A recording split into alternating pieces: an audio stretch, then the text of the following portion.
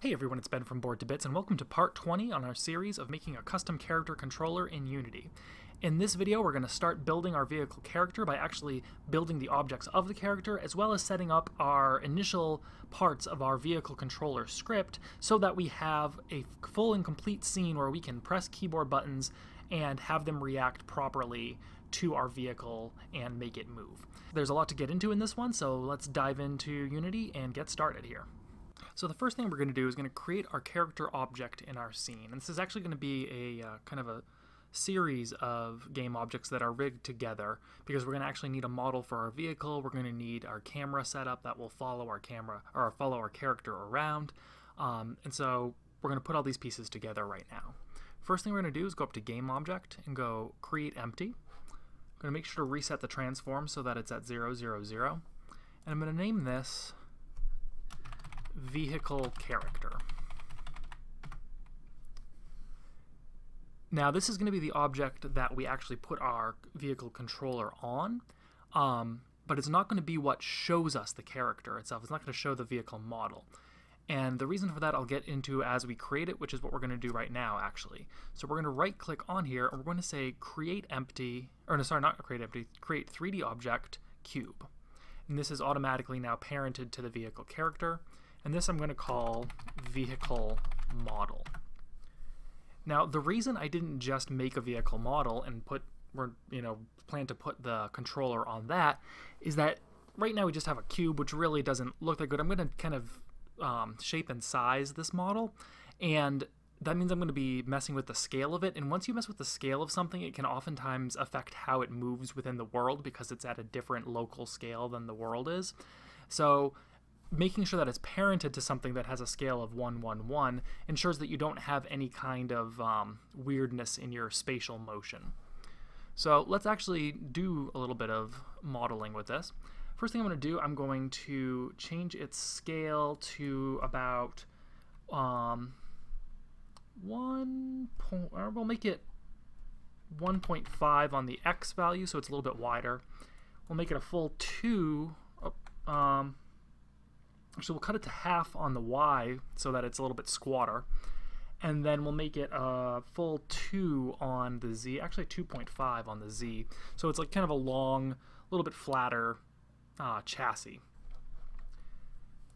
In addition, we know it's um, only 0.5 tall, so we can make it half of that up so it's setting right on the ground. So we'll make it 0.25 over the, off the ground so that if we were to go right on ground, whoops, go to an isometric view and right on ground level, we can see that that's sitting right on right on that zero plane. Um, so it's sitting right on the ground. Let's get out of isometric view. So that is our vehicle. Right now, obviously, we can't see it too well, though, because it's white on a white uh, ground. So let's create a material quickly for this as well. I'm going to go into our materials folder and create a new material, and we'll call this vehicle. And I'm going to keep it just the standard shader, but we'll make it like a teal kind of color of an old Chevy convertible look. Um, We'll add a little bit more smoothness, make it a little bit shiny. That looks good. And we'll throw that onto, you can either drag the vehicle material right onto the object or onto it in the vehicle model here. You'll note you can't actually put it on the vehicle character because that doesn't have any um, component that would take a material. But that looks pretty good. Now the next thing I want to do is um, put a couple, have a way of seeing which way is front and back for this vehicle, because right now we just have a, um, what is an, essentially a scaled cube, so the front and the back look exactly the same as do both sides. So I'm going to add to our vehicle model, model we're going to add another three. Actually, I'm going to add this to the vehicle character as well, because again, because this has this weird scale, it's going to make things scale funny.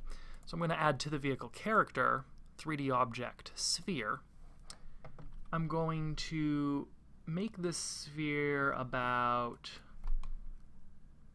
0.1 in all scales. And then I'm going to we'll zoom in here a little bit. I'm just going to pull this back on the z-axis until it sticks out a little bit. A little bit difficult to see. Here we go. Sticks out just a little bit from the back of the car. You can see it in the uh, game view a little bit better there. Um, may actually make this 0.2 in scale, at least on the x and y. We'll keep the z at 0.1. That works. And then I'm just going to nudge it also on the z, or on, rather on the x-axis over about, what's that, negative 0.472. Sure, that works fine. I'm going to create another material in our materials folder, call this brake light. I'm going to change that to red, and a little bit darker red. And I'm going to add that to this sphere. And I'm going to rename this actually. Brake light L.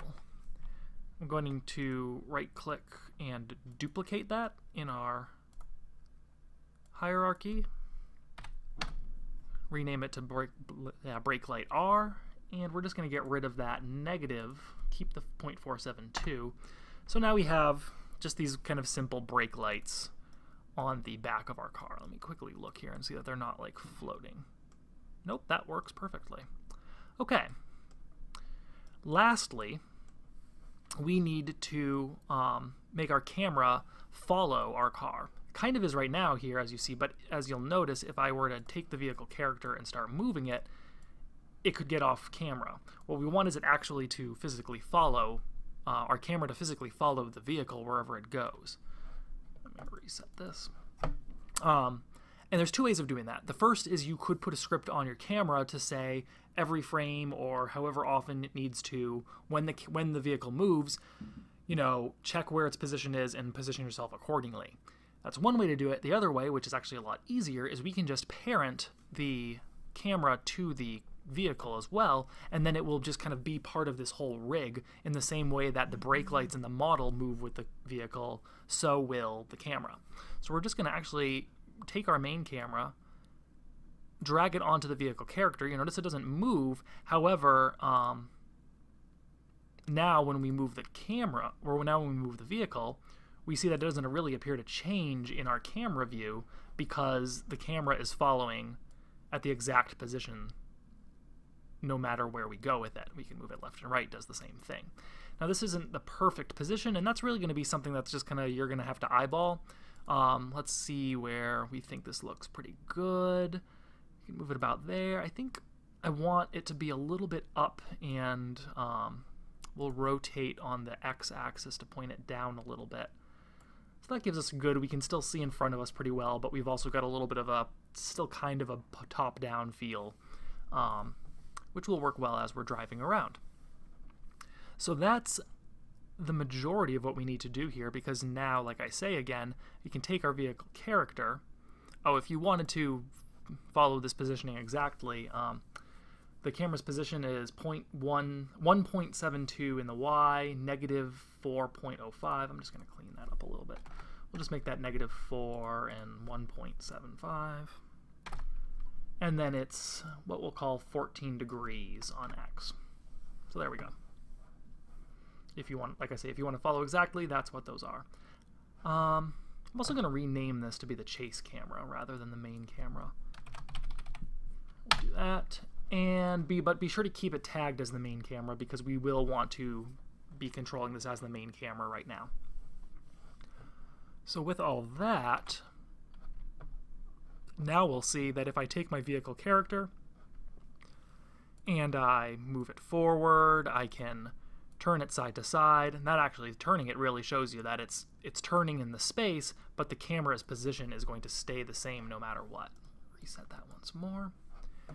And now all we need to do is add our vehicle controller script to the vehicle character so that we can, much like our walking controller, start giving it commands when we um, press the right keys on our keyboard.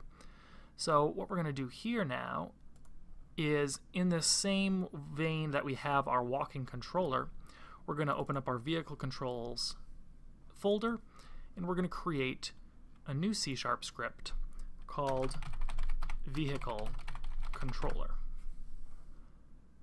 And we can simply drag and drop that right onto our vehicle character so that our vehicle character makes sure that you just have the transform as well as this vehicle controller script. From here, we can now finally open up MonoDevelop and start looking at how we want to, um, what code we want to put in to adjust our vehicle controller as compared to our base controller class as well as our walking controller. So here in MonoDevelop, I've got our vehicle controller script open, as well as the walking controller and controller classes, because there's going to be a few things we'll reference in here. Um, the first thing and the most important we'll recall with the walking controller is that it, it inherits from controller, and that's going to get us access to things like the protected rigid body and collider, as well as um, being able to check if there is um, an input being read. So let's quickly do that. We're going to change monobehavior to controller. We'll save that. And the other thing that we really need, the most important thing, is this right here, this function that we had in our walking controller, public override void read input. And this is what takes in whatever keyboard presses we have on a given frame, being passed in from our input manager, and converts those into commands. So let's actually just copy all this right here and paste that. We can delete these two and paste that right into our vehicle controller and we'll add in that closing bracket. And this is where we're actually going to register and execute vehicle controls. For now, I don't want to just clean that up a little. Um, we're not going to get right into you know making physics motions and accelerating and all that. That's going to be our next video where we're going to actually do accelerating and steering all the fun stuff. Right now i just want to make sure that this controller is working properly. So all i'm going to do is let's quickly look here and see what is our this was our jump button. Data buttons zero which is our space bar um, is how we checked to see if we were going to going to jump on a given frame so that's going to be our acceleration for her vehicle as we discussed in our planning se um, segment. So let's copy this as well from our walking controller and we'll paste it here.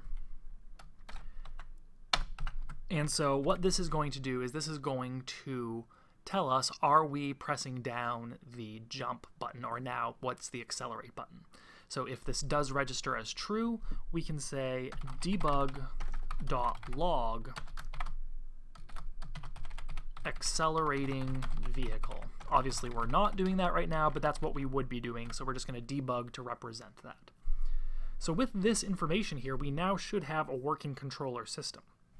However, there is one more thing we need back in our Unity scene, which we actually have in our prefabs folder down here, which is our input manager prefab. This right here is what actually is going to be tracking our presses and then passing them to whatever is the controller of the moment.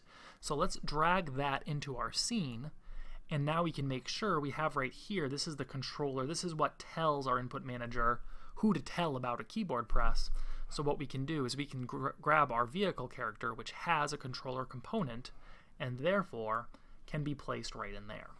So with that in there, we can save our scene hit play, and what we should now see is that when we hit button 0, the space button, in our console we should log vehicle accelerating. So let's press that space bar, and there it appears. And now you'll notice it also is checking, it's not just checking the first time that we press it, it's every single frame that we press it, we're getting more and more logs of accelerating vehicle we had to make some um, accommodations for this when we were doing things like jumping because we didn't want, or attacking or interacting, because we didn't want multiple frames going over and over again. However, this works perfectly for something like accelerating a vehicle because when you press down on the accelerator or the brake pad, you are on the brake rather, you want to get that continuous action happening. So this is going to work perfectly for us, and that's what we're going to dive into in our next video, where we start making our vehicle move with accelerating and steering. Thanks for watching, and I'll see you next time.